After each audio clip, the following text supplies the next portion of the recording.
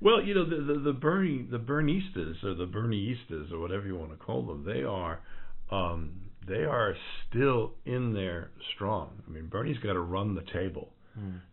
and he and you know he's got to win by 15% more than Hillary in order to catch her.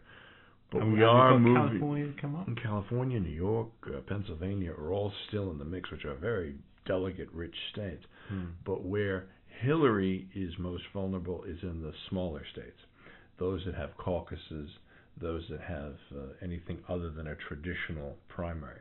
While there are winner-take-all states in places like California and other, um, sh her her path got a lot strong. easier. Yeah, she does really well in primaries because she's got a very good get the vote out machine. So people will show up and they will go to the polls for her. Hmm. But you know, Bernie has no way back.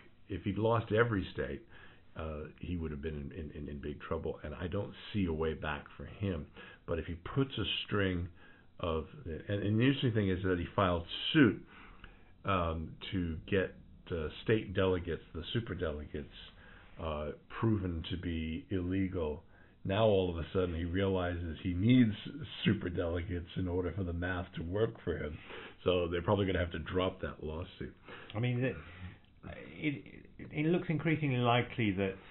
How, well, how likely is it for the establishment to step in and stop him becoming the nomination? I mean, clearly he is. He sort of is. He's a populist candidate. The, the the analogy I make is you've got, um, you know, I I, I referee basketball, and you can pretty much tell when you watch warm-ups how a particular team is going to do at a particular time.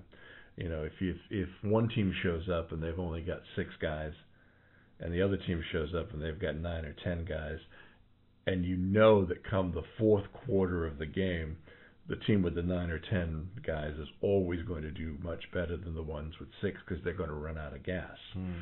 Well, it's the same sort of analogy here. Is that he's done a very very good job in the beginning, and now he's got to show he's got the legs to survive and and have Mm. this last. And and and that I think is, that's all is- important. That last, Mm. you know, lap is all important, isn't it? I should think Yeah. something like that. Yeah.